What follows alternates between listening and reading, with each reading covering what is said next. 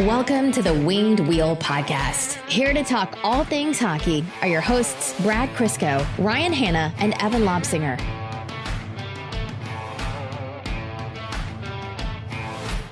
We know we're going to be back here later tonight, right? When our ultimate temptation of the hockey gods culminates in the DeBrincat trade coming through the moment I post this episode later today. I mean, I do have to come back to Kitchener later tonight, so this could actually work. Yeah, this is the one time the accidental timing is going to be good for you. We will have to grab like literal lassos and, you know, rein Evan in like he's a cow. Yeah, good luck with the episode. I, uh, I hope you have hope for nothing but the best. We're recording this as the current news is the DeBrincat trade is as close as it can get, but still not guaranteed to happen. It feels imminent and yet still far away. Yeah, I was gonna say it feels imminent, so I'm gonna say three weeks. Absolutely. Don't send me another tweet about this until it's done or not done. I don't. I'm done. Oh, we here. can send you a lot of tweets about it not being done. I'm. I. I can't take it anymore. I can't. I can't. Well, here's the thing. Not only are we going to send you all these updates and non-updates, we now have to send them on uh, like four or five different social media apps. Please, I'm so tired. It sounds like way too much work for you guys. So I think I'm gonna come out on top on this. No, one. no. What we're going to do is we're going to get you more active on Threads than you've ever been on Twitter, just for the you know hilarity of it all. Yeah. Who knew my real social media calling was actually Threads? He was saving. He wasn't tweeting. Will I be because the- he was saving all the good Right, content right, for right. Threads. Will I be the number one social media influencer on Threads? For- It's right now. I'm up there. Fir- First to a million. So, for those of you who are wondering, yes, we're on Twitter. We are not leaving Twitter at Winged Wheel Pod, and go to the uh, the bio points to our uh, individual profiles and follow the main account and all three of us. But we are also on Threads, Instagram's answer to Twitter. Are we rooting for one or another? No, we don't care. We just want to be where hockey discourse is. So follow us on Threads as well at Winged Wheel Podcast on Threads, and then our handles are all the same uh, for our Threads accounts too. So you'll be able to find us all there wherever you're taking in your social media. You can find us. Follow us if there is a DeBrincat trade and there's an insert, this episode's going to sound choppy to you. If not, and this kind of reverse, reverse, reverse jinx works or doesn't work, then you're just going to hear a normal episode. But for now, welcome to the Winged Wheel podcast. Here to talk to you about all things Detroit Red Wings hockey, the world of the NHL, random social media apps popping up left and right, and uh, surprising news in terms of buyouts and a lot more. I am one of your hosts, Ryan Hanna. I'm Brad Crisco. And I'm Evan. On this episode of the Winged Wheel podcast, we're going to be talking to you about the very surprising news of Filip Zadina. You know, the waivers happened last episode, but somehow there was even one more shocking twist in there, which was extremely shocking, and that all kind of came to a head today. So we're going to talk about Zadina being uh, bought out for the purpose of terminating his contract. Uh, we're joined on this episode by our good friend Max Bultman of the Athletic Detroit, who's going to uh, uh, talk with us about his thoughts on NHL, uh, the NHL draft, how the Red Wings did, how Steve Yzerman did in free agency, his thoughts on Zadina, and a lot more. We'll give you the update on DeBrincat, or maybe it's going to be a conversation about DeBrincat. We'll see how the uh, episode editing shakes out. Some more wrap up notes from the Red Wings free agency period, as we uh, we still have to let you know about what happened with Yamamoto, some other things going on in the NHL, and a lot more. All before we take your questions in overtime. Before that, I want to let you know that this podcast is proudly supported by our Patreon supporters. Patreon.com slash winged wheel podcast. If you want to support the show, go the extra mile. Uh, if you join the Dub Dub Club, you get benefits like access to our Patreon exclusive bonus overtime episodes, which record right after these main ones. Uh, they're a blast. We have a lot of fun just kind of let loose. Uh, we also give you access to the Winged Wheel Podcast official Discord, and you're automatically entered into all of our giveaways for things like two tickets to every Red Wings home game uh, that we gave away this past season. We're doing the same thing next season. The vast majority of those went to patrons. Uh, or you can win things like this cool Detroit Red Wings uh, slash Winged Wheel podcast officially licensed uh, co-branded hat. So uh, all that and lots more a benefit to joining the Patreon page, patreon.com slash winged wheel podcast. Why don't we start here with the big one?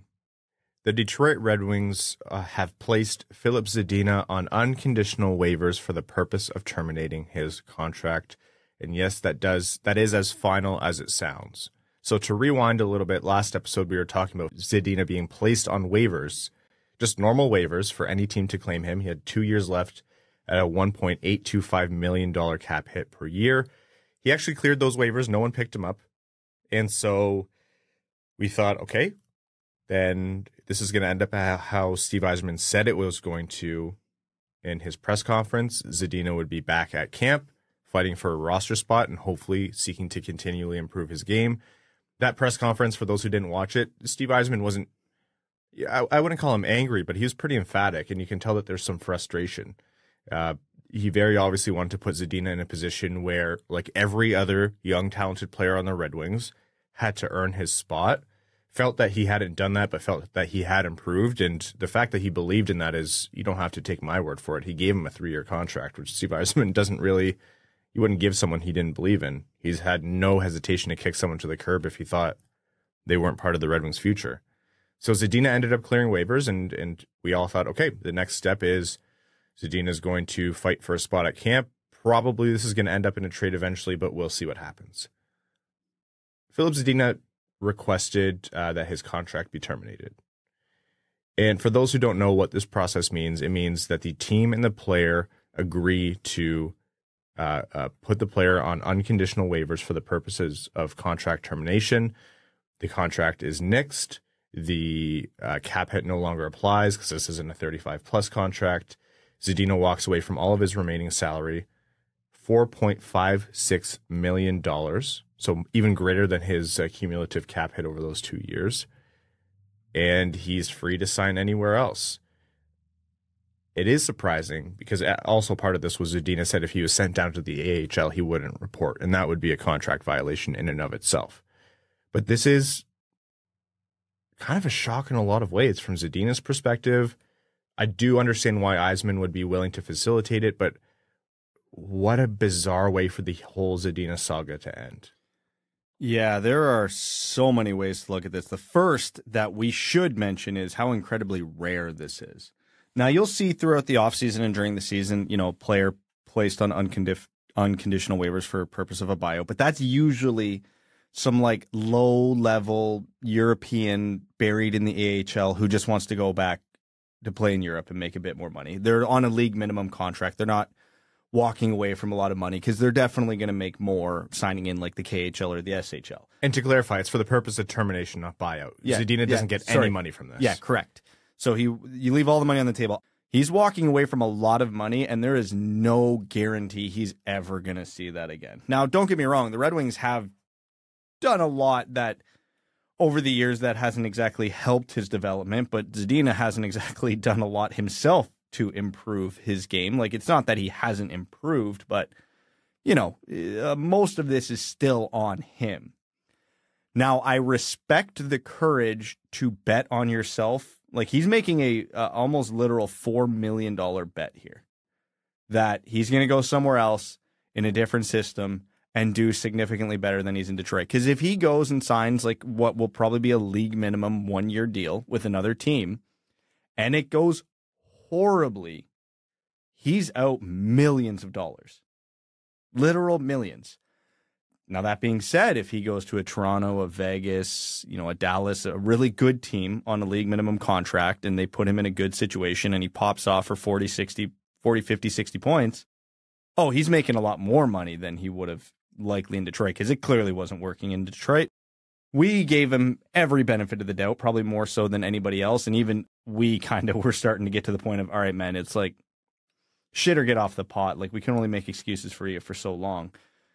And here he is going, all right, this isn't the place for me. And I want out of here by all means necessary, which again is risky, probably stupid, but at least you understand the thought process. So I, I am very curious to see where he lands because if he leaves Detroit to go to like a Chicago or a San Jose, he's out of his damn mind. But if he does latch on with like a contender on a league minimum, okay, I, I can understand the logic here. I, I the problem with going to a contender is where would he slot in the lineup? Like there, he, I feel like his, the wick is incredibly short for him to last in the top six before he gets obviously moved down. Oh, he, he wouldn't even, play in the top six, he but he wasn't even, playing in the top six here. He either, can't even play so. in the top nine in Detroit. So how would he ever survive on an actual cup contending team? That you know, that's all you know speculation and just kind of curiosity on the matter. But Man, you got to have a, some big ones to to terminate a five million dollar contract essentially to to bet on yourself. Like I don't know. I don't understand it. I see that as a monstrous risk. That's more than he's even made in his career thus far. You know what? The what if it was me, I would have just sucked it up and, you know, tried to bust down the door one more time. But clearly there is a difference in uh, talent and uh, where that player might slot up in, in the lineup from player to organization's perspective. If it, the question isn't about, you know, is the Filip Zadina wanting out of Detroit thing fair or good? Like, yeah, we cover everything from a Red Wings perspective, but looking at it objectively, he's perfectly justified in my mind to want a fresh start.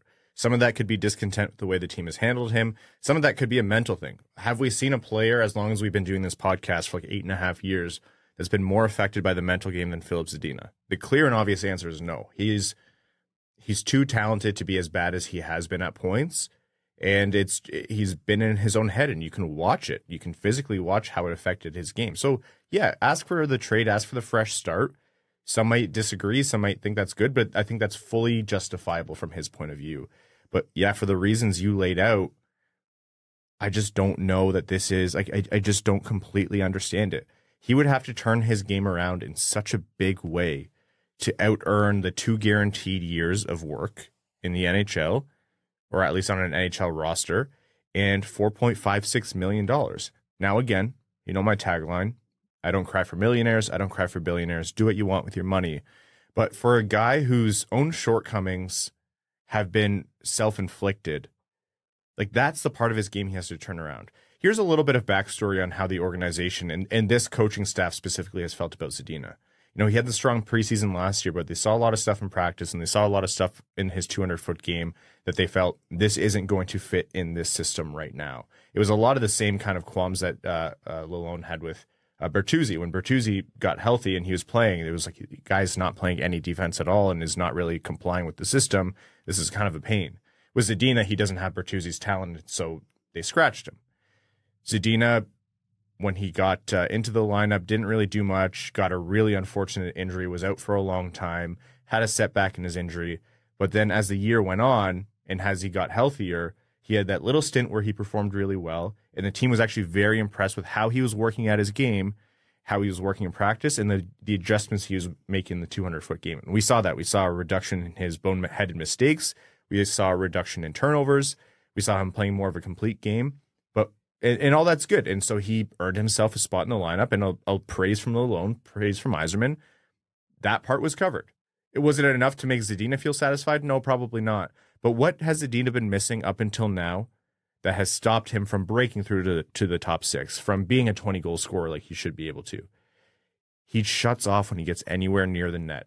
He hasn't figured out how to shoot at an NHL level. He hasn't figured out uh, decision making anywhere in or, or around the danger areas.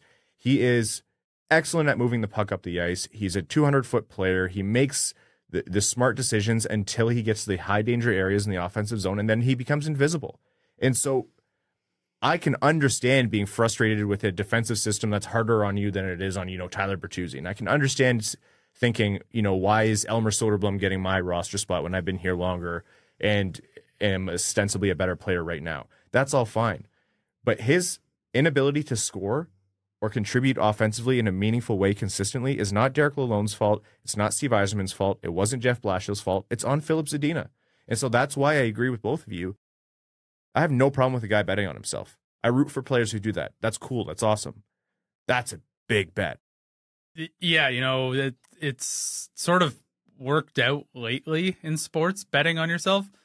But when you look at who's bet on themselves and won, it's elite superstar level talent. Uh, you don't typically see the guys who are getting scratched for Pius Suter uh, making making the ultimate comeback. Um, That's a devastating way to put it. Yeah, so you know, all the best to Filip Zadina, but holy crap, you either either someone's giving him bad advice or he truly thinks that he can do this.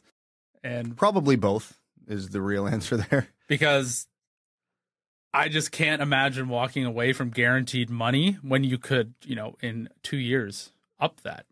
Now also, you know, to look at it simply, the Red Wings are one of the, if not the worst offensive teams in the NHL, and Zadina, you know, fancies himself a scorer. So going to a team that maybe has a little bit more offense, you, you can understand the opportunity there. Again, he's not playing in anybody's top six. He's just not. Detroit, again, one of the worst offensive teams in the NHL, and he could barely crack that lineup. That's why I struggle to say, like, let's, if he wants to go to Vegas or he wants to go to Boston or Toronto or literally any of these, you know, true contenders, how does he generate offense playing in the bottom six? I do not understand. Well, you go to Vegas, their fourth line is almost literally better than Detroit's second line. so he doesn't even make, so he doesn't even get in the lineup. No, I know. I, that's why this is all very confusing to me. Yeah. Because again, he either makes a lateral move going from one, you know, Maybe- maybe basement team to another basement team. And maybe that's it. Maybe that is. Yeah, Maybe it's a Buffalo type thing, you know? maybe it, like I was even thinking maybe it's Chicago just because they play a much more, you know, Anaheim, free maybe. flowing. Yeah, Anaheim's a bad team, but they score a lot of goals. Like they've got the talent up front. Maybe he's just like, yeah, I'm going to a new system. I understand that they're going to suck and I'm going to be buried on the third line. But It's if better than better than this. yeah, maybe he gets a lot more power play time or something there. I I don't know. I understand why he wants to Detroit. Nobody needs to explain that to anybody. Yeah. Everybody gets it. But yeah, to just walk away from that contract. But it was probably pretty eye opening for Zadina. Uh yeah, we tried trading you. We couldn't. So we literally tried giving you and your contract away for free, and everybody in the NHL went, nah, we're good. So that's what the NHL thinks of him right now. So he understands something has to dramatically change, or his career is likely over at the end of this contract. So this was the decision he came to, and uh, I saw someone Yeah. give give an example of and of course I'm forgetting who the player is about you know terminating your contract, go back to Europe, find your game there, and maybe an opportunity arises back in the NHL. Maybe that's on the the the, the table as well. But at Was that that point, Donov? is it not is it not better to just do that in the AHL? Like that league is closer to the NHL and will have more weight than anywhere else. Grand Rapids is also looking pretty strong with all the talent they have there. I understand Zadina's probably too good to be in the AHL. He's in that buffer zone. I think he's I think he could be an everyday bottom six player on the Red Wings. And if he has a good season, middle six. Like, sure. I just don't it's his decision. That's fine, and and I respect the fact that he wants a fresh start. But to walk away from all of that, I just I can't wrap my head around it. It seems there like there has to be a lot going on behind the scenes in terms Yeah. of relationship with the the team, the management, the coaching, whatever. Maybe you you know that there's going to be an opportunity somewhere else, but you know another team phoned an agent. Not that they would ever tamper, but they phoned an agent and said, "Hey, you know, if we had a guy like Filip Zadina." we can't take him for 1.825 but we could take him for a million and he's going to have a top six role here do that for a year and then his next contract if he believes in himself could be 4 million like that that i'm sure that's what this is I can't imagine. Well, clearly Filip Zadina doesn't want to go to the AHL, so I assume it's NHL, Europe, or nothing. whatever it is Linamar Beer League. Yeah. We'll take him. Yeah. We've got a roster spot. You think uh, Dominik Kubalik right now is looking at his passport and looking at what's gone on in the Red Wings in the last year and just is going, uh oh. no, He's no. Is he the last standing Czech? yeah but you know dominik kubalik's thinking thank god i scored 25 goals Yeah, honestly. Someone said actually when Kubalik was scoring, they're like, "This is what we wanted Filip Zadina to be, right?" I'm like, I think you're just seeing scoring and check and then drawing the rest of the lines, but also not too far off. Whatever ends up with Zadina, Godspeed. But what this is now for the Red Wings is the Zadina saga is over. Zadina is officially on waivers for the purpose of contract termination. I know we talked about this last episode and a lot over the last few days, but this is one of the biggest cogs that never got put in place for the, for the Red Wings rebuild. Like how much further along would things have been? And just to reiterate for the millionth time, for the Ken Holland and uh, Tyler Wright draft management team, Quinn Hughes wasn't on the board, if not Filip Zadina. Before Filip Zadina fell to Detroit, and that was the consensus that he was a top four level player who fell to six, they were going to take Evan Bouchard. And if not Evan Bouchard, they were looking at Noah Dobson or maybe Adam Boqvist. It was not going to be Quinn Hughes straight up. I think they actually told Quinn Hughes that. So I, I know it's easy to say, oh, if only we drafted the best player that we could have at the time. the that 2020 hindsight's going to kill you. It's going to drive you insane. But man, I'd sure love to have an Evan Bouchard or a Noah Dobson right now. Like It, it's funny too because I've seen a lot of debate, and obviously I, I brought up the point on the last episode, which got the debate going even further of when did this rebuild actually start? And you know they were asking the question: Was it 2019 when Steve Yzerman got here, or was it you know back in 2016, 2017 when the rebuild actually started? And the objective answer is you know, it started back in 2016. But the way I look at it is this is the second rebuild. When Yzerman got here, it had to start over because Ken Holland left such a burden of awful contracts and an empty draft cupboard, despite being three years into a rebuild at that point, that there was no other way to start over. And I see a lot of the national media, you know, rightfully, I will say, pegging the Red Wings as one of the losers of free agency because, you know, they got minimally better to get into the murky middle. And I think everybody agrees with kind of the general point we were making where, yeah, these players they signed are good, maybe a touch overpaid, but like, what's the ultimate end game here? And, you know, they're like, they've been doing this for seven, eight years. You either got to start over or hit the gas. And you can see the logic here. But when you actually look at when this thing really, truly started, it's only been four years and you know the prospect cupboard's starting to fill up a little bit and you understand that you can't stay in the basement forever but the Zadinas, the Rasmussens, the Cholowskis, and the Svechnikovs of the world are the reason the Red Wings are where they are because you simply can't miss four years in a row.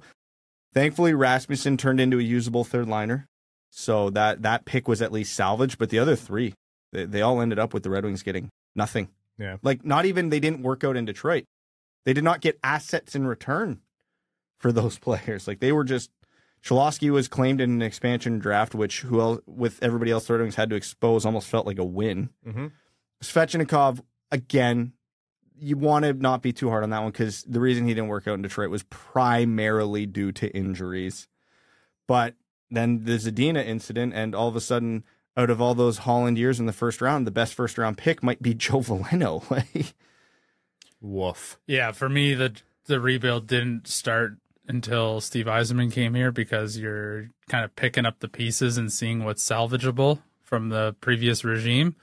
And let me tell you, it was not a lot. So, you know, it yes, it, it's been painful pre Steve Yzerman, and yes, it has been as since that's sort of ramped up. But yeah, the if the rebuild's going to be a lot longer, in my opinion, but it didn't truly start till Steve Yzerman came in. and, and the ultimate point of this all might be, you know, Filip Zadina might be the poster child and the bookmark for this all. That is when the Holland rebuild stopped. That pick, that draft, that was the last failed year. And now the rebuild started again, and Filip Zadina is probably going to be the poster child for the biggest bust of that era. The only point I'll make here before we jump to our interview with Max is I think setting a start time, a start point for the rebuild is a little bit of a uh, uh, kind of a false. Like, I don't think you can put that flag stick in the ground definitively because it. it no, you can't. it's That was not kind of the point I was making. Yeah, like Ken Holland signed some pretty stupid contracts, but towards the end, he did ship out Tatar and Nyquist for assets, and there were things that started to position it, but that doesn't mean that Yzerman didn't also have to then go backwards again. You know, buying out Abdelkader, doing this and that. Ultimately, a, redra- a rebuild starts through the draft, and uh, if you whiff on three, and now maybe even four, if you whiff on those, you're not rebuilding. And the overall point being like every GM is going to have good picks, bad picks. You know, Holland certainly had his share of good draft picks and bad draft picks. Uh, every GM has good contracts and bad contracts. Ken Holland certainly had his load of bad contracts, but he had some good ones. Steve Yzerman signed some bad contracts and he signed a good ones. He's had some bad draft picks. He's had some good ones. It's all in the volume. And right now, the weight of good to bad ver- that Yzerman has done in the rebuild versus Holland is dramatically different. Mm-hmm. Like, don't get me wrong. To the, I don't care how many times you guys get my mention. I still don't like the Chiarot or the whole contracts. That's okay. GMs are gonna have those misses. I like Sprong. I like Prawn. I like Kubalik. I like you know all these good contracts he signed in a couple of years. Again, I don't like the Brady Cleveland pick. Trey Augustine. You know Axel Sandin Pellikka. Great picks. They're it's in volume, right? So Yeah. That is kind of how you have to look at this. Neither one of them is perfect, but to successfully rebuild, the hits have to outweigh the misses. And that narrative changed in 2019. That's why there's never going to be a linear path to this rebuild, but that's why I kind of, in my own mind, Fair. as much as it as it sucks, you kind of have to reset the timeline because we're not in year seven of a rebuild, technically, because it kind of started over again. We're in year four of the second rebuild. Rebuild two. Electric Boogaloo. And I hate that. On I that, just, I need you to know I hate this. On that miserable note, let's jump over into our conversation with uh, Max Bultman. Max from the Athletic Detroit uh, joined us to talk free agency, NHL draft, the Zadina situation, and more. So, without further ado, good friend of the show who uh, needs and deserves the vacation more than the rest of us. Enjoy this conversation with Max Bultman. Max, it's currently 10:39 p.m. Eastern on Wednesday night, July 5th, and we are absolutely tempting fate, tempting Steve Yzerman, tempting Pierre Dorion, tempting the hockey gods because we are not here to talk about Alex DeBrincat. And goodness knows that trade is going to drop the moment we hit stop on this interview and you enjoy what is planned to be an 11 day break. Hmm, I don't know. The email link said DeBrincat trade details parentheses real. So I'm kind of expecting you hey. to make that worth my while here. Nobody's ever lied on the internet. We have like however long this interview takes for that to break for me to have the most unreal call of all time. what is the what does the world come to? WWP clickbait. Email targeted clickbait yeah, we have a uh, we have a target list of one, but we're really hoping these uh, these threads pull through. Hey, it all starts with one. That's right. Folks, welcome to the Winged Wheel Podcast, recurring segment with uh, our good friend Max Bultman of the Athletic Detroit. Max, we were talking before we hit record. It's been a grind. How you holding up, man? I'm I'm good, but I'm ready to, like you said, unplug for a couple days. Uh, you know, transactions permitting. So my my development camp takeaway story is planned to be my last for like like you said, you know, 10 11 days here. But uh I, you know, it doesn't feel secure to me either.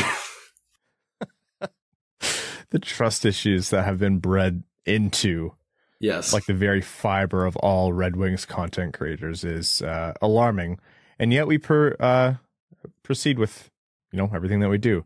Speaking of which, why don't we start? Uh, it's been a really busy time, and we're going to go in reverse order here. Uh, our last episode uh, on the pod was covering free agency, which was, as expected, divisive. Uh, there were varying opinions between fan response and us on the show regarding Justin Holl. There was a surprise with some of the players that that were brought in, and overall, kind of uh, you know, no one was really expecting Steve Yzerman to go and replicate what happened in the offseason of 2022. So why don't we get your overall thoughts on Steve Yzerman's uh, hockey town hall and all the signings that were brought into Detroit uh, in general? What do you think this means for, you know, the Yzer plan, but his vision for the team? Yeah, I, I, thought it was an interesting day. It wasn't necessarily what I was. Some of it, you know, I, I expected JT Compher. I, I, think you and I had talked about that as a possibility but I don't know that I expected what the end, what the contract ended up being. I, I do think the more removed I get from it, I should have expected that because that's just what the going rate is. I, you know, I do think he's a pretty similar player to Andrew Copp. Um, and I think the, the contract coming in a half million dollars lower, the same term, it, that actually probably should have been what I was expecting. But I don't know that I was expecting a five year deal, and that's what it ended up being ultimately, I, I, think it's going to be okay. I think when you think about the timing of, of when we expect Marco Kasper to be a Red Wing, when we expect Nate Danielson to be a Red Wing, you're really looking at like one year in each case uh, on the end of those, uh, additional to the end of those ELCs, and maybe none at all. So, um, you're not going to be pressed by those signings. And, and if, if that's what you're paying for your centers, that's absolutely fine. So, um, it's, it's probably okay. It's just maybe, uh, in, in the moment, I think we all were so hypnotized by, okay, the big, the big move is going to be a scorer. And that didn't come and it hasn't come. And as we alluded to, it may still come. And if it does, you know, then I think, you know what? Like, I already think this team is deeper. And if they end up deeper with a top six scorer, now I think we're talking about a team that I would expect to finish in the in the 90s, like points wise, and, and that would challenge for a playoff spot, um, which is what I think they needed to do this year. Um, if it doesn't come, then I still think they're probably one level below what what it will take to get into the playoffs, but we'll see. I, I don't think they're built totally dissimilarly to how the Seattle Kraken are built, but they play in the Eastern Conference and not the Western Conference. So I really like Daniel Sprong signing. Uh, I actually really like the Shayne Gostisbehere signing, even though I was very confused by it in the moment. That's probably the one that I, the most was out of nowhere for me. I did not expect a left D signing, but once you dig deeper, you see that he can play the right side. You know they needed a power play quarterback that checks out. Whatever they got the goalies. Justin Holl, probably not the right D I'd have signed, but let's see him out, outside of Toronto. I, I asked a couple people about him, and the general feeling was, you know, Toronto cannibalized uh, they, they, they get a scapegoat every year, and Justin Holl was it. So I'll give him, uh, you know, fresh eyes here and see what he looks like in new surroundings. I think I'm probably just going to scoop my website here. So sorry to my bosses. I think I gave him a B minus in free agency overall for, for the grade. Um, what do you think of that? It was B minus or C plus for me, but I, I felt like I was punishing him too much for not getting a score if I did C plus when there wasn't a score in free agency. Um, I punished him a little bit for it, but who was the scorer in free agency? When we talk about the score, we talk about trades, right? So that's where I landed as was B minus. Yeah, this is the issue when we have uh, when we talk so much outside of you know the show that people hear is uh, I think a lot of our thoughts converge. Is I have the exact same thought for the exact same reasons. Initial reaction to the Holl trade, for example, was you know not the player I would have chosen, and I don't really uh, love the term and dollar amount, even though they're not crippling. And uh, overall just the sense of disappointment because you walked away without a solution to the scoring talent and you know sneak preview of our draft conversation. Like the draft in general but there isn't an impending solution to scoring talent through that as either. So uh, i i was a little bit harder on it to start but once i started to think about the signings and the, the holes that it plugged i understood a lot of it was doing what Yzerman could with the talent that was there. So I'm not going to reward him. It's not perfect. You know, yeah. I wouldn't have made the Holl decision, but I think it's better than, you know, sticking Gustav Lindstrom in that spot. Um, so I think B minus C plus is like spot on.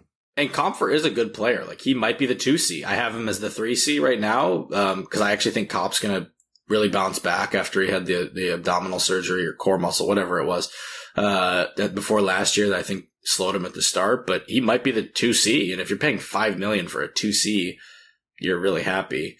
Um, even if you're paying 5 million for a 3C, it's okay as long as they're like a 50 point 3C, which either of those two guys might be. So the, the, that one is the one that I think surprised me the most in terms of the, what the contract looked like, even though I, you know, I think the player was on my targets list. Um, but the more I think about it, it's just, it's just what it costs. And uh, I think it can work. And I also think there's an element too of there's a Detroit premium right now, which isn't to say that Detroit's a bad place to come to, but this isn't a successful franchise. It doesn't have the allure of a 0% uh, state income tax. It doesn't have the weather that attracts a lot of people. So, you know, Brad said last episode, until Detroit is the successful powerhouse Detroit Red Wings of old, I, I do have the sense that Steve Yzerman is having to spend a little bit more in terms of dollar and term to get some of the bigger names over here. So that's probably why we see, you know, a fifth year on JT Compher, for example. They're probably paying sticker price. I don't think they're getting taxed, but I think they're they're probably paying sticker price. They're just not getting the discount that you get when you're Tampa, Florida, Vegas, Dallas to an extent. So with you know Gostisbehere and uh, Justin Holl, Justin Holl makes sense. You understand what hole that's plugging. Um, at the very least, that third line right D, mm, good chance that's going to be the second. I think it's right second D. pair. Yeah. Yeah. So with that, uh, the element that came up for me when the Gostisbehere signing came through, which was probably unfair to Gostisbehere because I do really, really, really like that signing, was what does this mean for Detroit's defensive pipeline? Because Edvinsson you know, he is going to be recovering from surgery. And he's not going to have an off season of, of training and, and conditioning for the NHL game, which sucks, but uh, he's going to have to come up eventually. As long as none of them get traded, like Johansson, Wallinder, there's other guys who are coming up. So this kind of reduces a lot of spot, especially on defense. So what do you make of that? Only until though, like there's an, like didn't this happen with Zadina, with Rasmussen, with Veleno? Like all these guys, were like, wait a minute, they just filled their spot. And then with, I think by New Year's Day, but usually sooner, like I think Zadina's happened in like November. Uh, there's an injury, they get called up and they stay. And, and Rasmussen, I think it was similar in the COVID year. Like I don't think he made the quote unquote opening night, but I think he played like 40 some games out of 56. And Veleno might have even played, I think he played like 66. So that, that's kind of my guess here. Um, Yzerman said he's not prepared to like carve out a spot for him in the top six, but let's see where he is in camp. Let's see how long it takes him to, to look like himself after recovering from surgery. If he plays less than 30 games this year, I'll be surprised. So do you think this roster, you know, barring a potential DeBrincat trade, do you think we're looking at in general what the Red Wings are going to go into next season? Because I do agree with your assessment. You know, this is a, a Red Wings team that's better than they were in March, April.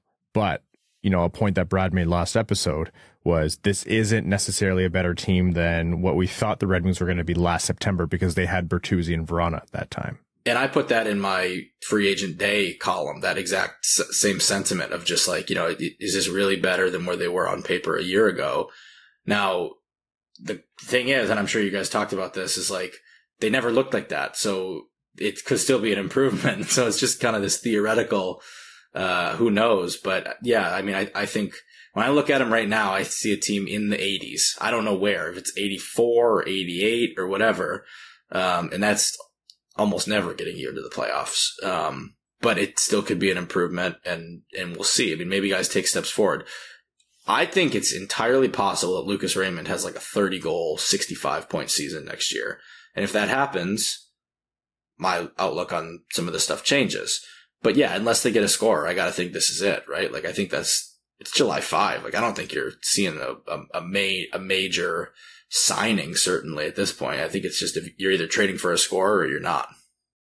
I was talking to someone recently and they, they cited Yzerman's, you know, um, the improvement has to come from within. And they were asking, what does that mean? Is that Veleno, Veleno and Rasmussen? And I said, yeah, sure. Like they've both been on good paths, Rasmussen especially. But if the scoring is going to genuinely improve from within, like you mentioned, Max, it's got to be Raymond. You have to hope Larkin stays at the pace he's at. I don't know that you can expect too much more from him. You have to hope Perron, uh, doesn't trail off or Kubalik doesn't trail off. And really, I think the addition of Compher and a healthy Copp, like if if those can just be both of them third line center quality, like NHL average third line center quality, as silly as it is to say, to have those as your two and three C, that is a massive improvement for the Red Wings and a, a luxury they've not had in uh, what a decade.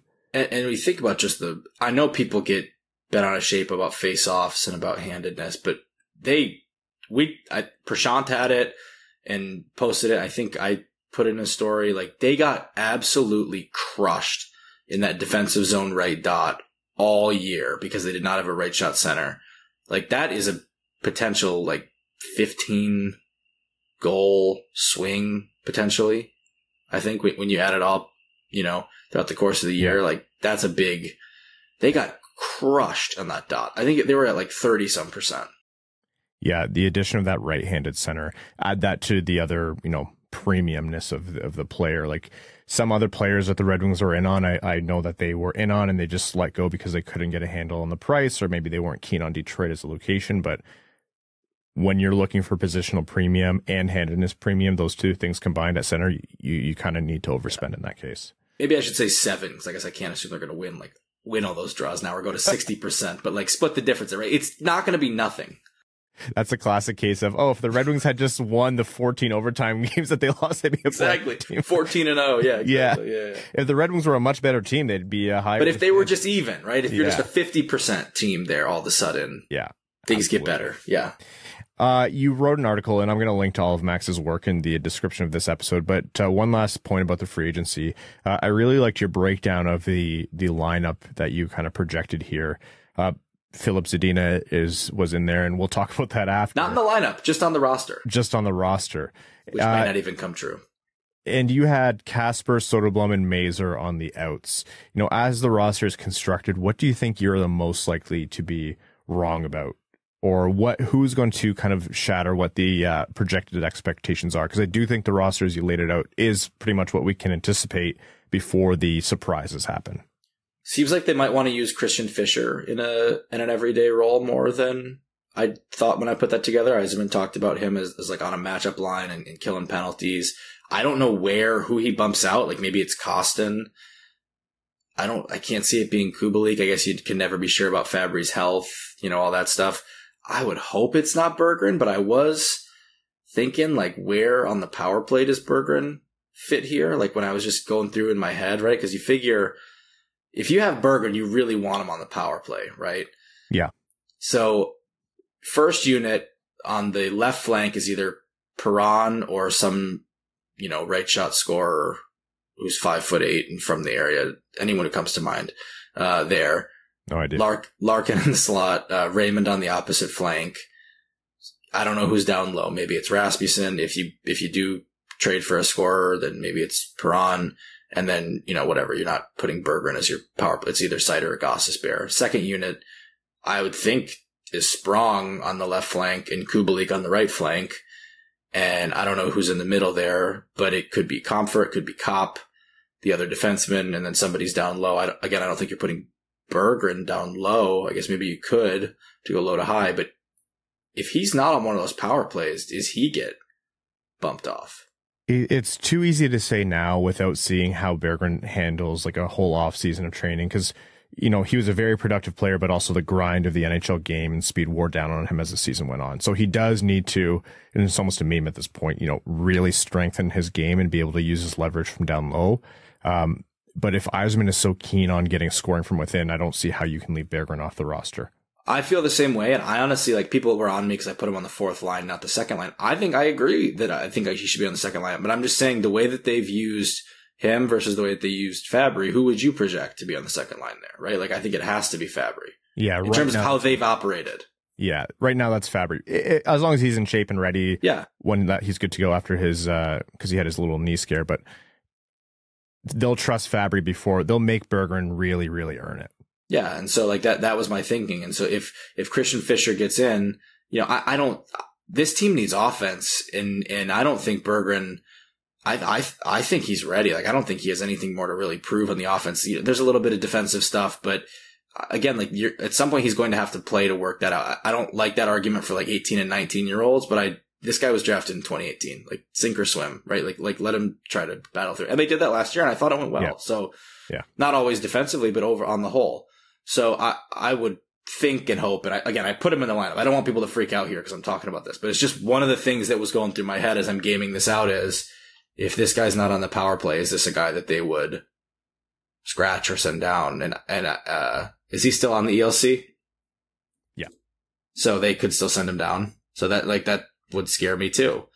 Um, I don't know. I, I put him in, so don't yell at me. But I'm just gaming that out in my head. These are things that popped up.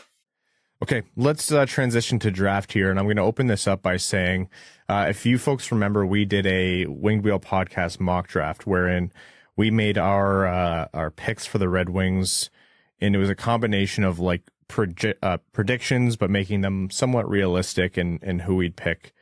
And uh, Max, your first pick was Danielson, and then we ran a poll after just to see what people thought of who do you, which pair of picks do you like the most, and which pair of picks do you think is the most likely. And yours with Danielson first, Max, was clicked as the least likely. And I remember in the group chat, all four of me, you, Max, and uh, me, you, Prashant, and Brad, I should say, all four of us were laughing and said, we all picked yours as the most likely because I had Danielson ninth. And lo and behold, Max Bultman is not one to uh, uh, to applaud himself, but applause to you, Max. You called the Danielson pick. Well, I like to think that the fans voted it the least likely because it had Simashev at 17 and all the fans knew he was going six, baby. So the fans were just, were just on the money there. Of course, this is the man who knows where his bread's buttered.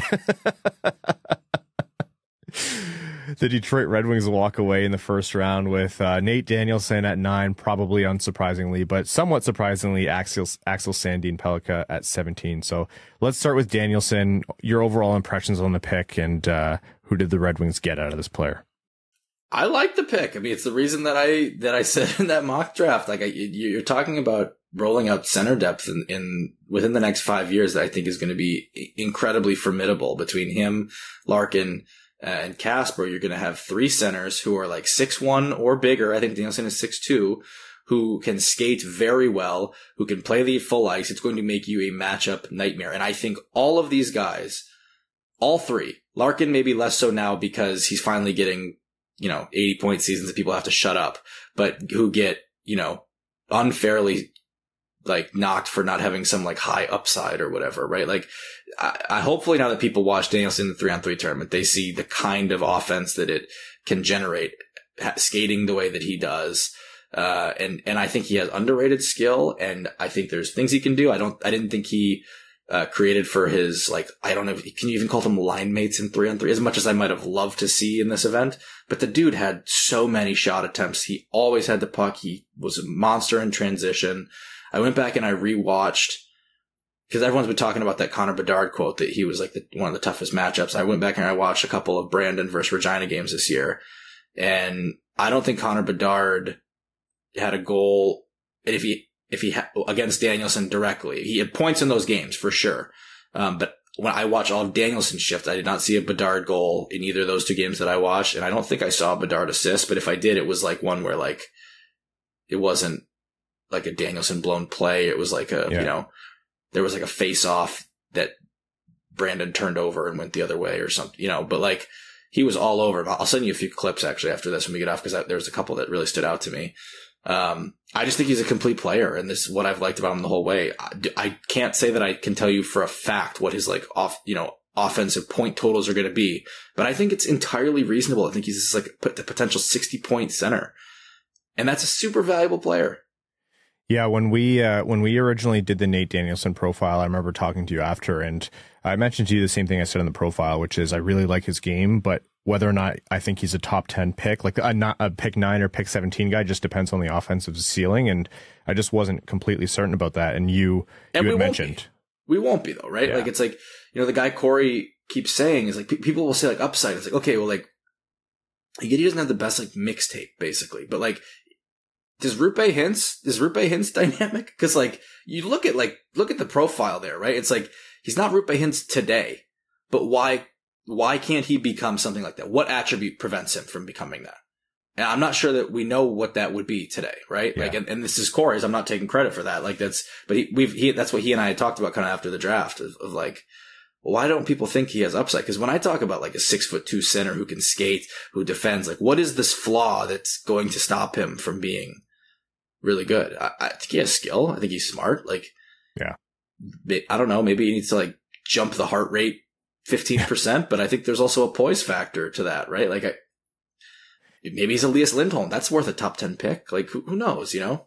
Yeah, and after I remember after that, I like I he was one of the guys I was zero I zeroed in on a lot just to really watch his game. Funny enough, Simashev was the other one, and both of them I was like, okay, I'm starting to really be sold uh, the poise thing is funny because everyone was like, he seems so unenthused. I'm like, that's, I think that's just WHL players. I think that's just Western Canadian hockey players. They all have that same way they carry themselves. I interviewed him at the combine and I was like, wow, he really didn't like that interview. Like he, he didn't want to be there. Okay. I guess I, I maybe I got to revisit like, and it's, that was probably true either way that I got to revisit some of those questions because I went back and listened. I was like, I could have done better here. But then I saw him again at the, at the draft and he, you know, he was in a good mood, but it's like, oh no, he just, he's just low heart rate kind of guy, and yeah. there's there's a, a, a value to that I think in, in professional sports. Hundred percent.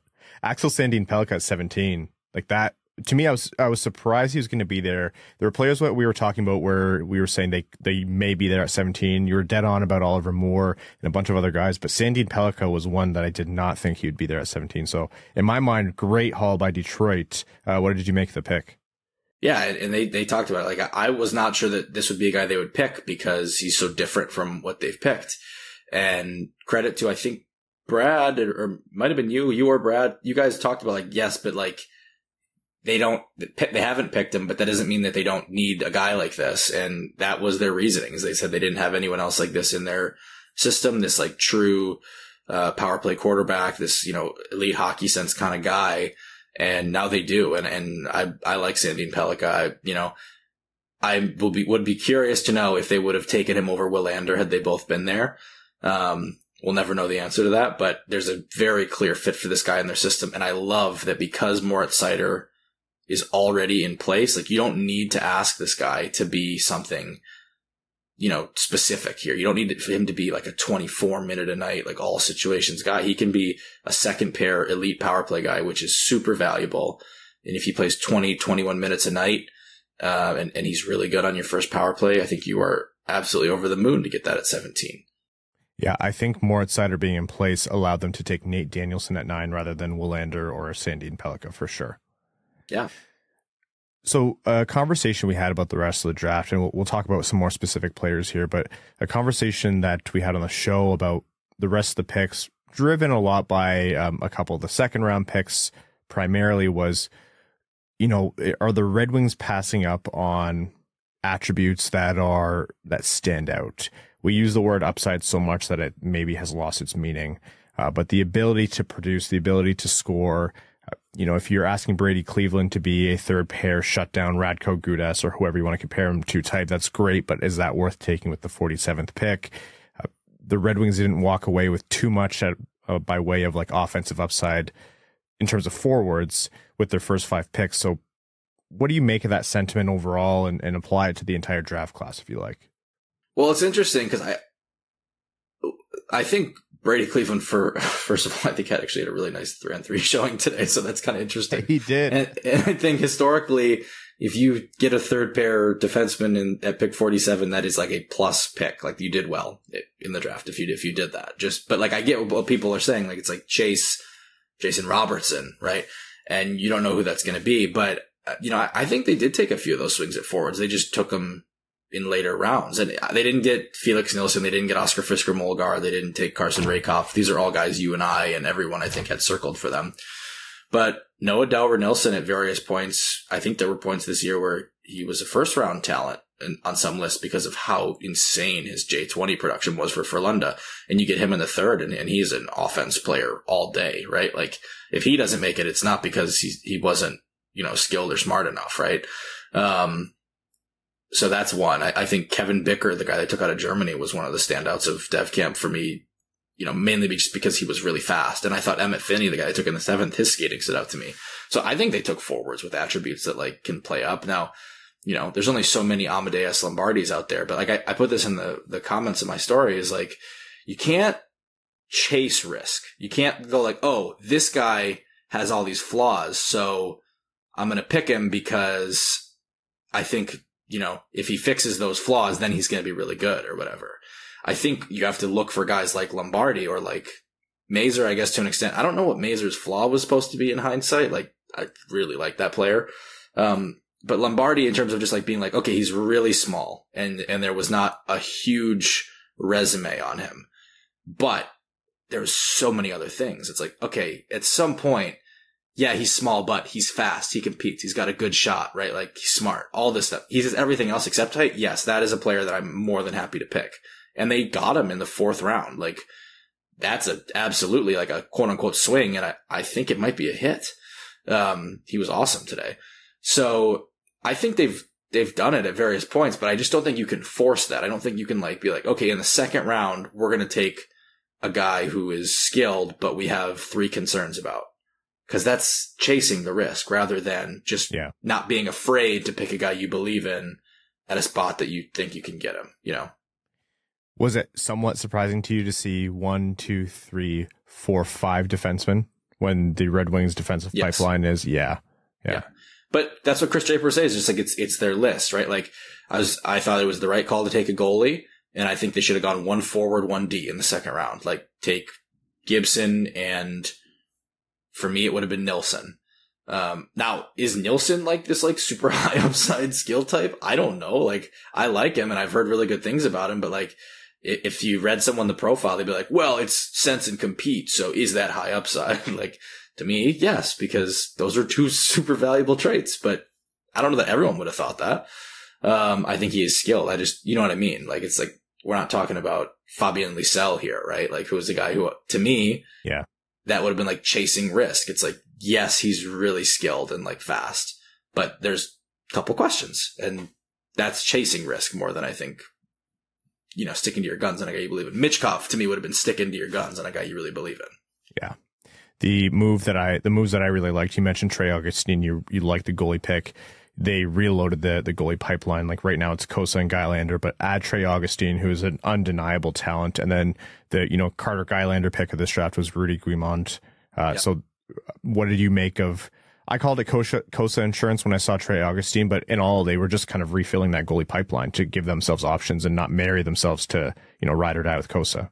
and I really like Augustine. It sounds like they really liked Augustine. So to me, that's like, hey, we always talk about like what kind of capital do you want to invest in in that position? Because you know, unless you get a really good player, you can usually find Alex Lyon or James Reimer or whatever. And you know, obviously, Ville Husso is probably the best example. Like they traded a third for Ville Husso already in his prime. Like, why would you ever spend higher pick than that, right? But um, Trey Augustine's a really promising. I, I don't know if people like fully appreciate what it means that he had the best save percentage in a single season at the program. Like that's a lot of amazing goalies that we're talking about here.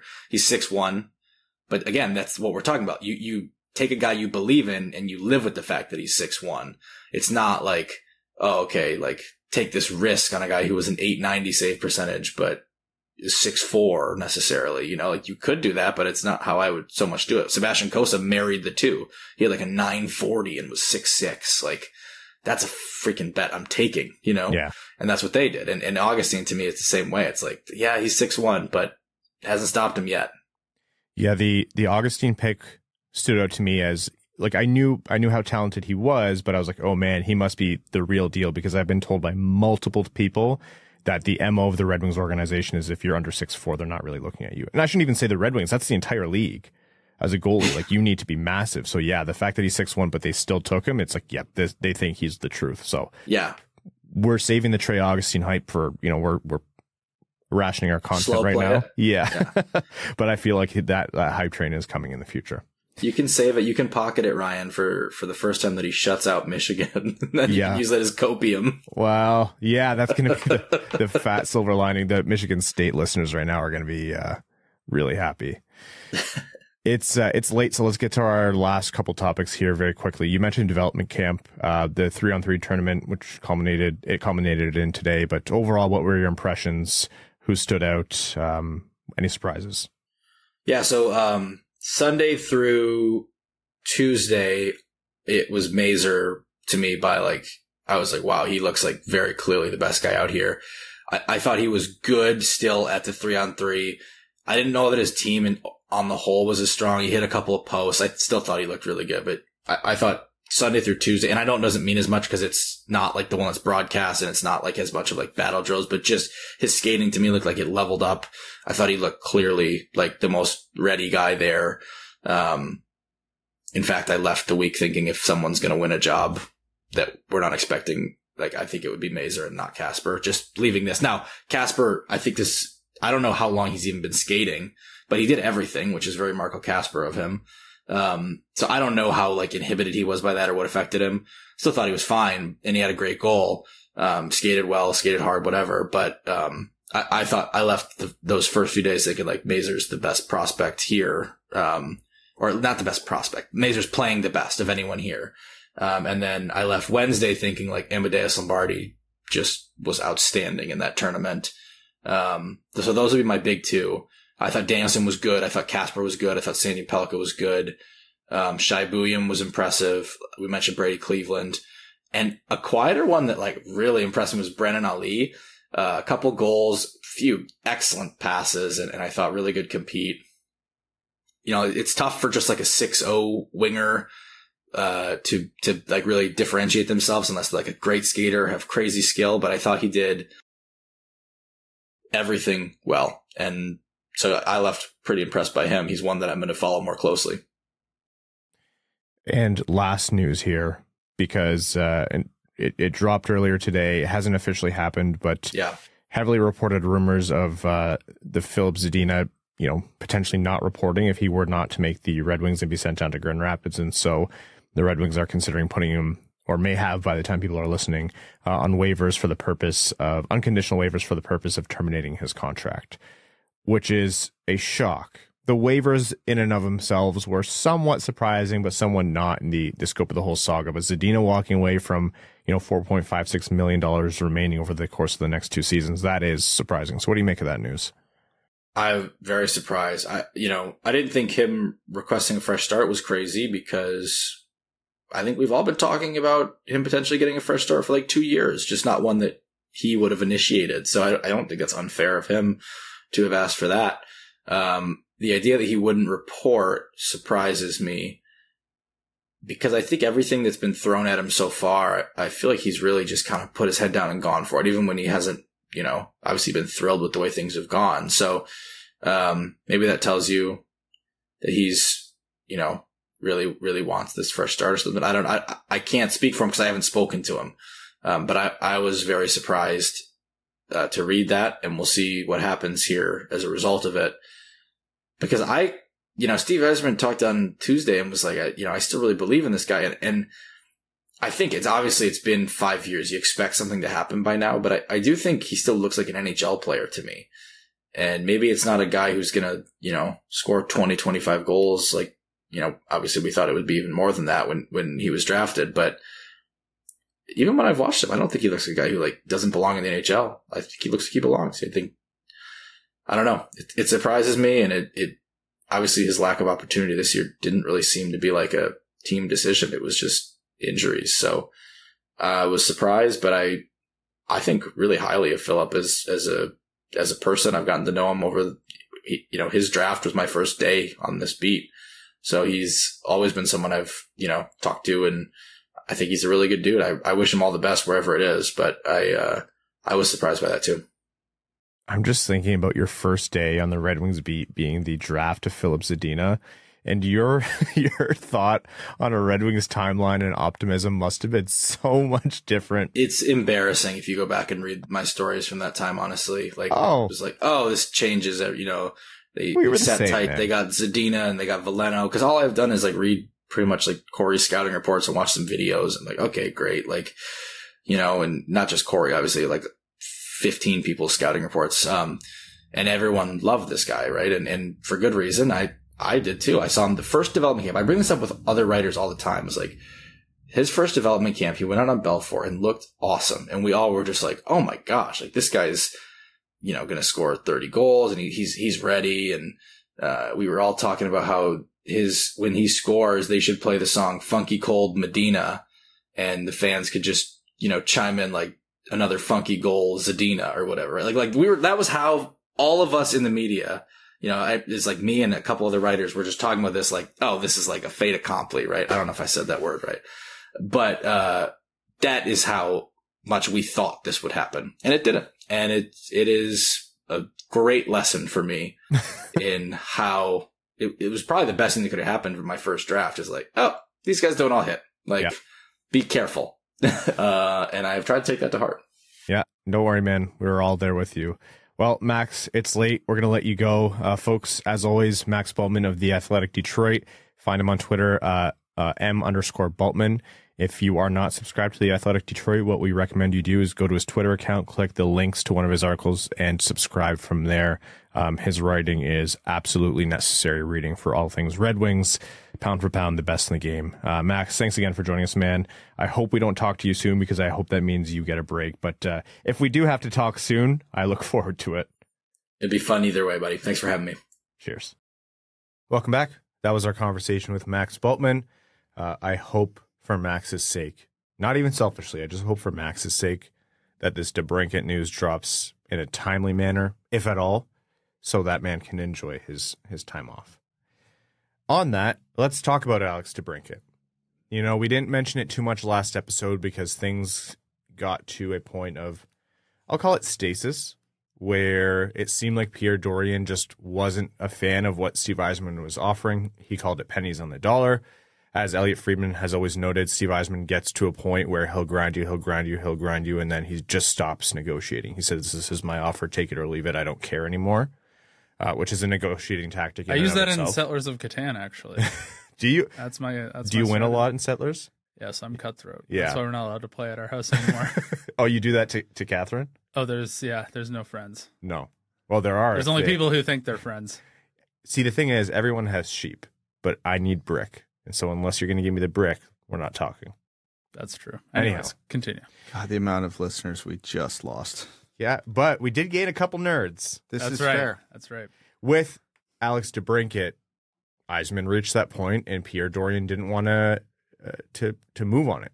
That said, you don't need to read too hard between the lines to understand what's happening here. There's been conver- there's been uh, strife between the Senators and Alex DeBrincat's representation to say he needs to be willing to go to more teams. the representation put out statements to say, you know, we're not the ones who make trades. We're being as flexible as possible. DeBrincat doesn't have a no trade clause, so they can trade him anywhere, but he's only willing to sign long term. It seems like in Detroit or other teams wherein they can't afford him. And so their hands are tied and he's exercising his right as as he's able to right now as a restricted free agent and next year as an unrestricted free agent. So, with that said, the Detroit Red Wings and the New York Islanders are the two teams who are reportedly in the sweepstakes now, and it's looking close-ish with Detroit. Now, I say close-ish because everyone has recognized that there aren't a lot of hurdles left to be completed. By all accounts, it seems like if the trade does happen, DeBrincat won't have a problem signing in Detroit. He really wants to play there, so you don't think the contract demands are going to be insane. Looks like Detroit is willing to uh, do what they need to do to lock that down. Moving out Filip Zadina frees up, you know, 1.825 million in cap space as well. But it's all about what is the offer to Pierre Dorion? Is he going to take the trade? If this is actually pennies on the dollar, then are we even talking about a first round pick asset, uh, equivalent asset going back? How close is this thing? And all of this is, might be edited out in like three hours, anyways. Well, the Islanders entering the mix is is really fascinating to me because they might be truly the biggest wild card now of all the options we've seen. Because oh, Lou is insane. Lou is a, to be playing a bad GM at this point in his career, but he but in this context, he hands out contracts like they're nothing, like there's no future consequences. He'll never, he won't see the end of some of them, unfortunately. So he is way more likely to meet DeBrincat's contract demands than Yzerman is.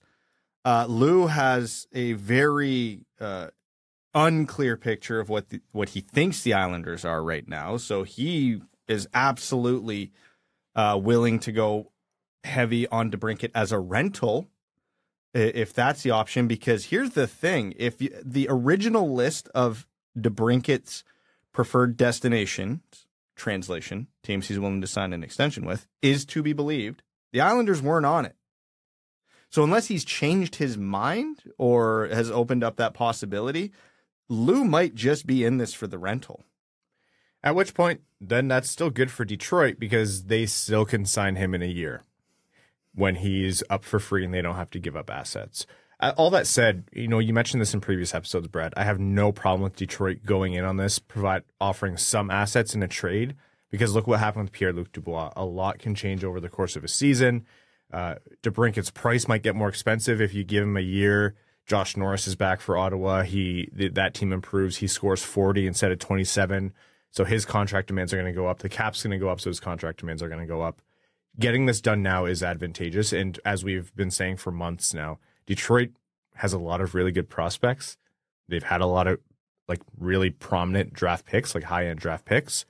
It does not hurt to spend some of them just to get your guy. What was our motto for the draft? Where are the goals going to come from? Yep. This would address that need specifically. Mm-hmm. Yeah, that did not get answered in the draft outside of maybe a third round pick. And if you're betting on a third round pick, I got bad news for you. But uh, yeah, because my mindset is like, and and I know I built that quasi. You know, here's the Red Wings roster four to five years from now. Where the hell? Like who can actually play in these roles on the team? And for you know three of the top six forward positions, there wasn't an answer. So, again, we talked about the Detroit tax last offseason. Detroit is not a free agent destination right now. So the fact that Alex DeBrincat put the Red Wings on near right near the tippy top of his preferred list yeah. is not insignificant. The fact that Alex DeBrincat directly fills one of the Red Wings' biggest needs, again, that's with the asterisks, they need more than just Alex DeBrincat, but fills that biggest need. This is an opportunity the Red Wings can't let pass by. Now, I am all on board with Yzerman playing hardball because the Senators have no leverage here. So that's very smart. But when push comes to shove, if the Islanders or the Predators or whoever is still at the table actually starts to pony up, the Red Wings have to step up. They have to because we keep talking about next offseason could be fine. You can wait to address these needs in the next couple off seasons. It doesn't has to have to be done right now. My main concern is are the players that come available in the next two summers going to want Detroit? Is DeBrincat, if it, the play is to just let him go to UFA, going to still choose Detroit? Because again, I, we referenced it before, and not not to keep repeating things. Dubois to Montreal was basically a done deal for two years until it wasn't. Right? It just took one change of heart, and all of a sudden Dubois is in L.A. for eight years now. Yeah. So, yeah, I'm I'm fully on board with get DeBrincat for as cheap as you can in terms of trade assets and in terms of contract. But if he goes to the Islanders at something even close to reasonable, even if it's a little more than reasonable, and it's and the Red Wings don't outbid that, that's a failure. That's plain like if all of a sudden Lou gives him eight years by nine million and gives up like two first round picks, okay. Yeah. But Here's the thing, though. I don't think. I, I think this is Detroit at the head of the pack. No, I think agree. a lot would have to fall apart for this to not be Detroit. So at this point, we're just thinking, what actually is the compensation? We were speculating as if this was going to be a negotiation wherein the value for DeBrincat, the player, would be what was going the other way. But it really does seem like the offer was, for all intents and purposes, a low ball because of the because you know DeBrincat was locked in on Detroit. Yzerman understood he had that leverage, and they were saying, "Well, we got to sign this guy for eight years, and we're probably gonna have to pay him north of eight million dollars. So why are we giving you multiple first round level assets back when we're the ones ponying up all that money?" Yeah. So we'll see how this comes through. lose the wild card though. I I really I'm not that to me reads more this is just being put out there from the Ottawa side of things just to drum up some sentiment of it could not be Detroit. Even since that was reported, everything since has been no, this is Detroit and Ottawa working to get to the finish line. Like it does seem like and I, I know I'm tempting fate by saying this. Wild card bitches. I know. so we're we're saying like this is the Red Wings. They're the ones who are who have the opportunity to cross the cross the finish line here. The contract signing after the trade would would be the easy part hypothetically, but it's just about can Yzerman and Dorion hammer this out. But as we were talking about, Brad, we have to acknowledge the other teams in this, or the fact that Dorion could just hang on to him because we don't want to give the fan base, you know, unbridled, unfettered hope that this is going to get done absolutely. So how would you what percentage would you give this that it doesn't go through? I, I'm probably up around a 40% that this doesn't happen. Again, understanding Detroit's in the driver's seat. There, there are still so many factors though that could happen. Because again, these are human beings involved. Mhm. You know, minds change, things change, philosophies change. I'm not even ruling out that Ottawa goes, screw it. He's more valuable to us uh, as a one year rental. Because Ottawa does have, uh, I don't know if I want to call it thoughts or delusions of making the playoffs this year, but that is their plan. DeBrincat helps that. So if the, if the best offer they're getting is a second round pick and a B level prospect, yeah, I'd probably keep him as an own rental too at that point. Like, all right, it, it's probably better for this fan base. It's probably better for new ownership. It's probably better for the morale of the team that we just ride it out and hopefully get into the playoffs. And if it falls apart, they trade him at the deadline, probably for better than a second round pick and a B level prospect. Like, you know what I mean? So, and obviously Yzerman's going, yeah, if you, I'm not paying more than that, so I'll just take my chances in free agency, which is where I get to my ultimate point of if it's free agency or this year, it has to happen because it's a rare opportunity for Detroit. So I don't know how Detroit has to get across that finish line, but they have to get across that finish line. And Ottawa has a lot of reasons to not get across that finish line with Detroit. They're in division, they want to make the playoffs themselves. Other teams might just pay more for a rental because DeBrincat doesn't have a no trade clause. The Ottawa can send him anywhere.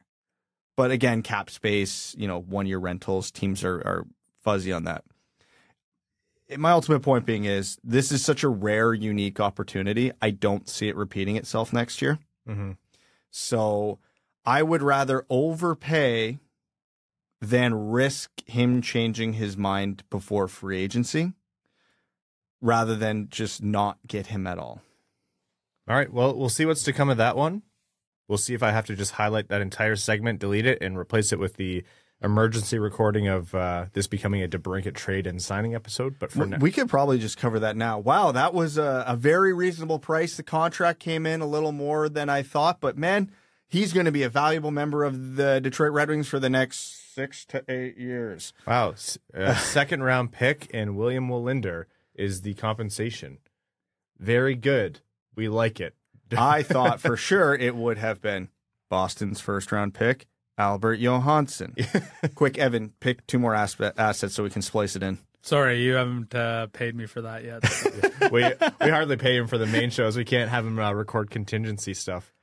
Okay, let's jump over to some uh, piecework news here. First of all, we didn't really address last episode uh, the Kailer Yamamoto buyout. So if you'll remember, the Red Wings acquired Klim Kostin and Kailer Yamamoto from the Edmonton Oilers in exchange for future considerations.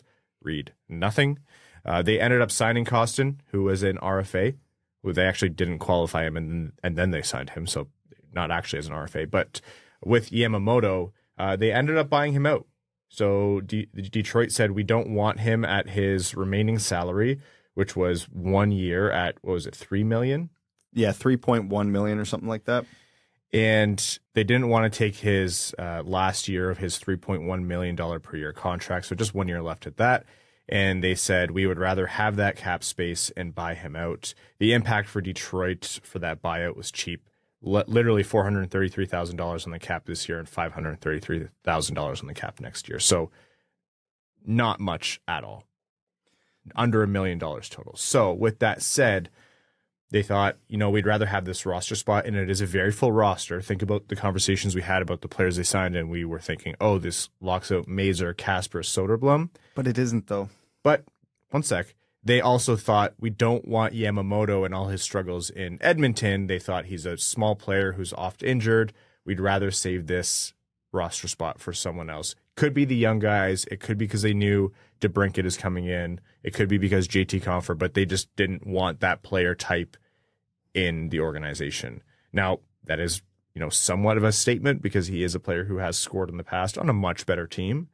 But for all the reasons I just mentioned, they thought, meh, we'll we'll pay less than a million dollars over two years on the cap and just free ourselves of the contract and the roster spot. And the ultimate win that they got was Klim Kostin. Yeah, Klim Kostin was the more important part of that trade, obviously, because he comes in cheaper and he fits more of the Red Wings type of player. I can't help but think this was just a cost saving measure, like not cap hit, but actual dollars. Maybe they have something else in mind. Maybe, I don't know, because to me, this was a zero risk to keep him other than you have to pay him a bit more money because it was only one year because you know he's a right-handed shot forward who's showed offense in his career obviously comes with his you know warts the injury history and the fact that he's been pretty inconsistent hence why edmonton gave him away for free but to me it just felt like yeah keep him see what happens and if if it doesn't work out Okay, then he just walks at the end of the year for nothing. You don't even have to pay him, play him all year. Healthy scratch him, put him in the press box. It doesn't matter if you got him for free. So other than actual dollars paid, and let me repeat it, I don't care what they do with Chris Ilitch's money, but uh, there it just seemed to to have make no sense to buy him out because again if it was a roster spot thing and Marco Kasper came in and had a better camp than Yamamoto, and you're like, we have to ditch Yamamoto to get Kasper on the roster, sure. Okay. Edmonton, we have our future considerations. Have you heard of Kailer Yamamoto? yeah. Um, and, and, you know, even though the Red Wings did fill up the roster a little bit, it, they, it's not like 16, 17, 18 players deep like people make it seem. Like, the thing is, they had a limited window where they could buy him out, and that's why I felt like they had to make that decision. No, yeah, it, it I agree that it was a now or never thing, but again, I just don't see the logic behind it other than you save some real world dollars. I disagree. I think I do see the logic. I want to say my personal opinion is you could have taken it or leaving it for me. I, I, would have been happy to see what he could do on the roster. I wouldn't have been hopeful that he'd be more productive in Detroit than he was in Edmonton. No, yeah, my my opinion is it probably wouldn't have worked out but it was at least worth the chance. But I think for a player who's almost guaranteed to be missing 20 plus games a year, doesn't fit the build of uh, the bill of what they want in the lineup. Like Yamamoto wasn't going to be in Detroit's top six, and does he fit in the bottom six for the kind of game he plays? To me, there's a really good argument that the answer to that, to that is a clear no, and that's what the Red Wings did. I don't think this is about dollars. I think it's the fact that the buyout was cheap and they'd rather use the roster spot on either a prospect that emerges. So to your point, yeah, the roster might not be full and and Mazur could break through. Then they're like, well, we don't want to block Mazur for Yamamoto for him to put up 36 points. But that's the thing is, you if he had a better camp than Yamamoto, and you feel like this guy has to have a spot, you don't have to keep Yamamoto on the roster. But you you buy him out now and you save yeah almost yeah, the entire cap. Yeah, like I mean the the big downside to if this didn't work was you lose three million dollars. Yeah. versus the whatever million and change that you are paying him now. So don't get me wrong, it, it's not nothing to save two million dollars. 2.7 ish on the cap. Oh yeah, that the Red Wings. I'll be surprised if they're a cap team this year. It's get with DeBrincat, it could be in the realm of possibility. So if that DeBrincat trade goes through, obviously this is a much different conversation. We don't know what that cap hit could be. It could be seven mil. It could be nine mil. We don't know, but that could be very relevant. And obviously that changes the conversation. But yeah, my overall point was it was a free asset on a one year deal. It almost was like like I said, it was worth the chance. You know what I mean? So We do it with all the other free agents we signed. yeah, uh, I mean, and uh, Yamamoto, despite his stature, has actually decent defensive metrics. He's not a black hole in his own zone, and it's only happened two years in his career. But you know what he did in those two good years in his career? He scored goals. He's how many Red Wings players down the lineup have a season under the belt north of twenty goals? He has one season at 20 goals. Yeah, but it. the first year he was almost a point per game player too, and I think that was a shortened season. yeah, 27, 26 points in 27 games. Yeah. So again, this is a guy who, again, through injuries, inconsistency, you're not getting him for free without some warts. But he has shown it. He has done it, and he's not spent a majority of his career with McDavid and Draisaitl. He spent some of it. So I don't know. Like I'm not super broken up about it because again, my guess would have been it probably wouldn't have worked out. But he's the type of player we've been banging the table for the last five years to try as a reclamation project, and here he literally gets ham- handed to him. And yeah, we get Kostin out of it, so it's still a phenomenal trade. Like it's still ten out of ten would do it hundred times again. But yeah, it's just not where I would have been, and not a hill I'm willing to die on. But unless you run out of cap space, which if the Red Wings run out of cap space this year, how the hell? Because they had thirty million dollars a week ago.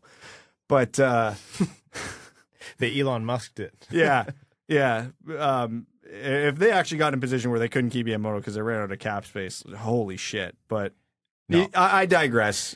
I'm on the inverse side of the the spectrum from you. For me, it's this is just Yzerman wanting to be responsible with every cap dollar, whether he needs it or not. It's just good practice, and it's the way he's operated from the start. Look at when he bought out players who he could have wrote out their contracts. He said, "I can have someone else who can do a better job for cheaper." This is, yeah, more of a borderline decision. So again, not willing to die on this hill either. I, I understand your perspective, but for me, it's Yamamoto's 24. They know what he is. They know what he could probably bring, bring to the lineup, and it's probably better for them to save that cap and have the flexibility. But all in all, it seems to be this decision in general is a you can take it or leave it, and the Red Wings chose to leave it. How long do you think the tribute video will be? Oh, Longer Multiple- than his career in Detroit. Both intermissions, couple stoppages worth. I just want you to know I have zero in, real influence in the hockey world, but if I can do any one thing, it would be to convince the Red Wings to do a Yamamoto tribute video and you be there in person for that just to watch you melt. Absolutely implode. I have, Seattle's- no, I have no response to this. Seattle's only in Detroit one game this year. I'm just saying the opportunities It's there. is pinpointed. Okay, uh, very quickly, other contracts that kind of came through. What did you guys think of the Klingberg contract, for example, him going to Toronto on a one year, $4.15 million deal? I'm going to talk about this as a whole because the Maple Leafs going Klingberg, Domi, and Bertuzzi in free agency. Boy, are they leaning in on winning every game seven six instead of two one. Pretty much. Like all gas, no breaks, none at all, zero, none. Whoever, Speaking of betting on yourself, let's Yeah. talk about John Klingberg. Oh, no, that's like the most tragic story in that regard in the NHL. but much like Bertuzzi, uh, hey, he could. There's a reality here where John Klingberg gets a decent contract next year because in Toronto this year he puts up 65 points despite being like a minus 24. There's also the uh, chaotic moves that Lou Lamoriello made, signing everyone to seven year deals. Like Ilya Sorokin, I actually think that's a very handy contract for them. I think absolutely. eight, Sorokin eight years times eight point two five million dollars. Like, yes, is it risky to sign a goalie for eight years? Sure, but I think Sorokin is the real deal, and they probably got him well under value. He'll have bad years in there as every goalie does, but by and large, they have their goaltending set up for a whole generation. But seven years elsewhere is oh, oh you can probably hear the rain pick up now. Seven years for Engvall. Engvall, Mayfield? and seven years for Mayfield is don't give depth term. Like, has nobody learned that yet?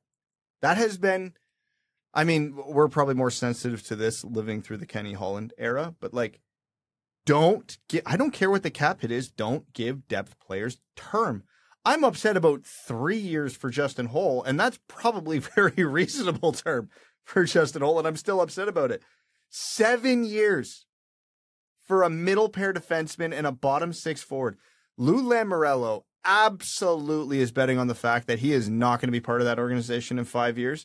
He knows he's got to know his team's actually probably more likely to miss the playoffs than make it this year, but he has no other choice. So he's just all in on we're keeping whatever good players we can, and the the next GM be damned.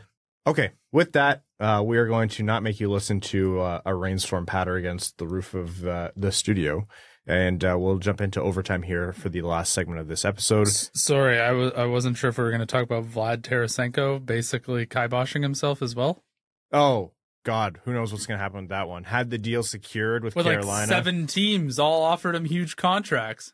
and fired his agent, and now they've reset the entire process. It's I yeah. This has been a weird. This is like a contract episode. Yeah, it's been.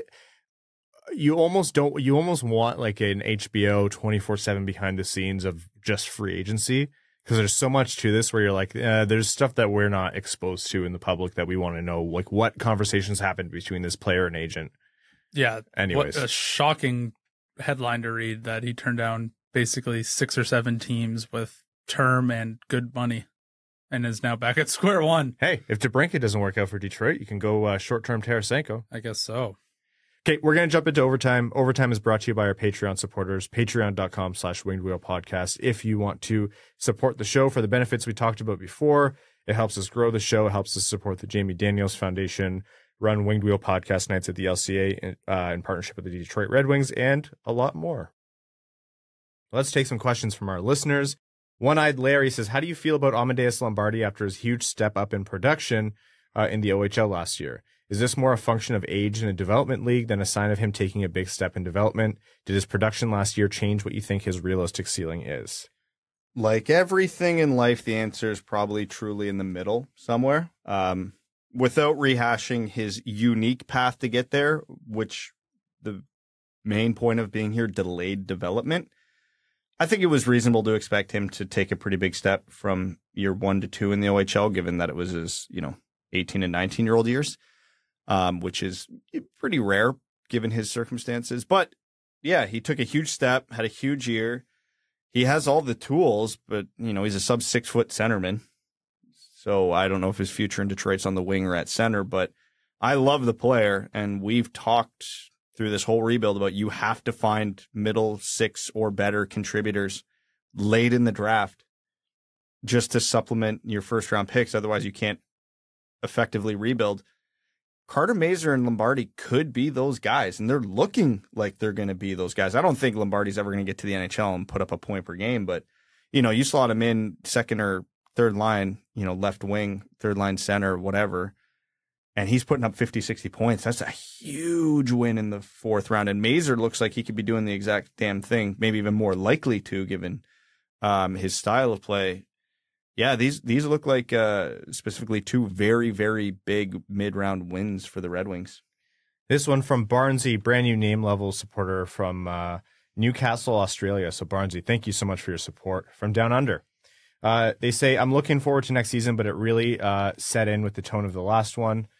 I think out of training camp, we are really going to see some of the younger key players step up and compete for a spot. Not a huge amount of players on our roster. Who do you think is a surprise to make the roster this year, and who do you think will either struggle to compete for a roster spot?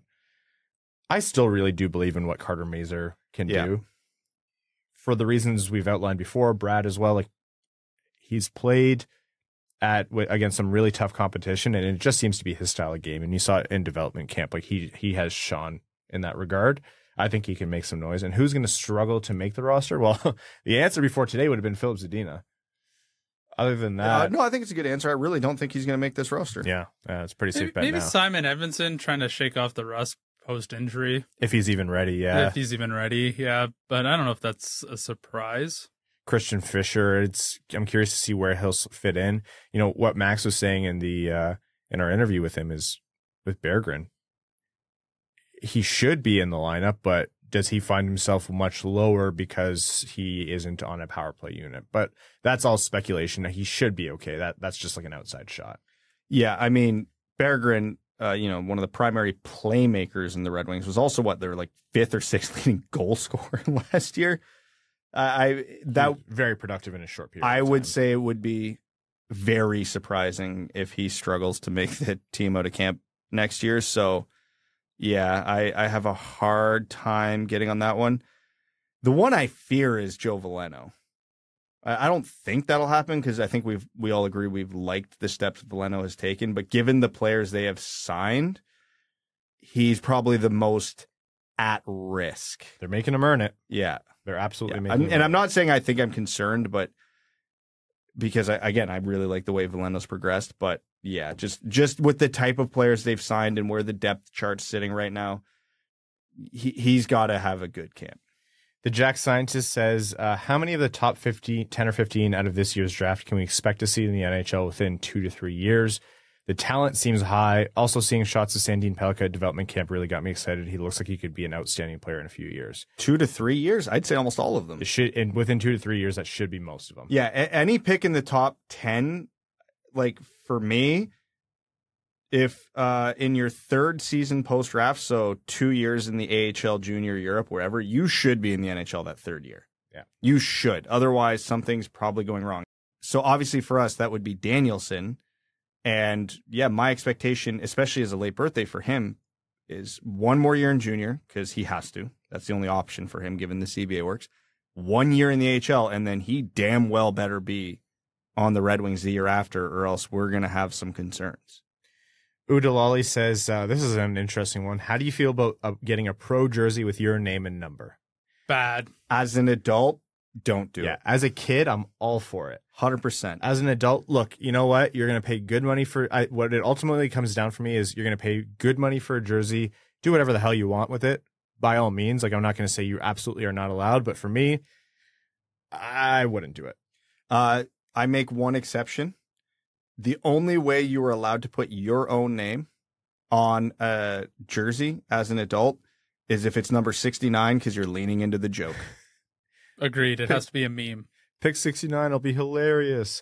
Okay, with that, we're actually going to wrap up. I know not too many Patreon uh, comments today. We'll we'll get to the rest in overtime, but uh, this rainstorm is going to ruin our audio, and uh, we have to get out of here to uh, let the hockey gods thus initiate the the Alex DeBrincat trade. So thank you all so much for for tuning in. We greatly, greatly, greatly appreciate it. Uh, for all of our patrons, thank you so very much. We we can't say thank you enough for your support. To all of our listeners, new and old, uh, thank you for tuning in. If you've been here for a while, amazing. And if you're new to the show, we hope you enjoy it. And uh, to all of our name level supporters on Patreon, we cannot have done it without you. Arjun Shanker, Eves Bartels on behalf of the Sarah Grand Foundation, uh, Aikfer, Samuel Soderholm, Raymond's Missing Tooth, Brad's Lord and Savior, Bradley Cleveland, Glenn Brabham, Marcus Nolang, Nicholas Brodeen, Barnsey, Sea Lion 22, Keenan O'Donohue, Yanni Burgers, Meals on Wheels. Also, Sea Lion, welcome to the Dub Dub Club, as well as Barnsey. Uh, Matthew M. Rice, Connor's Left Knee, Actual Garbage, Admiral Matt S. of the Cheesebag Navy, Babe Landeskog, Carl Brutanen Analuski, Carzone 13, brand new name level sponsor, Citizen High Five, Clip Clop Nay Nay, brand new name level sponsor, welcome. Connor Scovey, Cooking with Kosa, Coyote, t- Coyote season tickets and anywhere but Tempe, Craig Kibble, Denny's Gamer Girl, Derek Enstam, DJ Denton, Give Blood Fight Probert, Hockeytown Love, Hockeytown Matt, Hassam Al Qassem, Jay Gollum, Jacob Turner, Joel Miranda, Kalen Wood, King Tone, Marcus, Matt McKay, Michael Edlund, Prashanth, the goalie truther, Ierserman, R.A., Red 3, Ryan, Big Brass Ones, Hannah, Ryan Hubbard, Scott Barton, That's What I Appreciates About You, The Mexinadian, Wellman's Elite Dancing D, Iserplan, Stan, General Andy Bohan of the Cheesebag Army, Sam Bankson, number one Red Guys fan, A. Aaron, Adam Rose, Big Cheese, Brad Simmons, Brian Vasha, Captain Antonio Gracias of the United Federation of Cheesebags, Chuck Buff Chest, the Tarpless Goon, Commander Ben Barron of the Cheesebag Space, Space Force, Connor, Connor Leighton, Corey Prida, Darren Fick, Frank Stanley, Gene Sullivan, Griffey Boy, Instructions Unclear, Cheesebag No Longer Fresh, James Laporte, James Pridemore, Jeremiah Dobo, JM Rhapsody, John Evans, John Ingalls, Josh Yelton, Kevin McCracken, Quaz, Linda Hall, Maximilian, Melissa Erickson. nope, not reading that one either. Read uh, M. Khalifa, Norris Sider, O. Ophelia, Pavel Duck Soup, Ryan Hanna's Big Brass Ones, Shahid Syed, Stephen, Tatar Sauce, The Hodag, and the Hat 123, also your second favorite patron. Thank you all so very much. We'll talk to you either Sunday or once the Patreon or once the uh, DeBrincat emergency episode comes out. Thanks for tuning in to the Winged Wheel Podcast. Be sure to check out wingedwheelpodcast.com, where you can subscribe to the show on iTunes, Spotify, or wherever you get your podcasts. You'll also find links to other ways to support the show, such as Patreon, official podcast apparel, and more. And don't forget to follow the show on Twitter at Winged Wheel Pod. And of course, the hosts at Brad Crisco, at Ryan Hanna WWP, and at Hockey Town Evan.